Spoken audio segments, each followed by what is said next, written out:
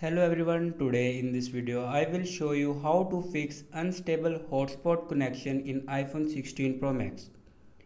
So first of all before watching this video don't forget to subscribe the channel and also press the bell icon. So let's start the video. First of all open settings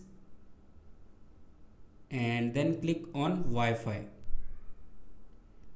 and scroll down and here you can see the option auto join hotspot. Click on it. Here you can select auto join hotspot. You can select never.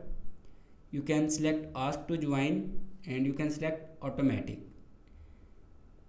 You can select anyone in these three options and after that go back and reset your network settings to solve your problem reset reset network settings.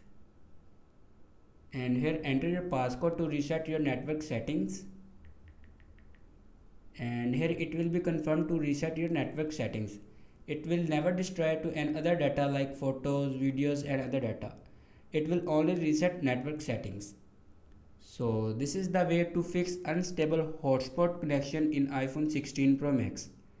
Thanks for watching this video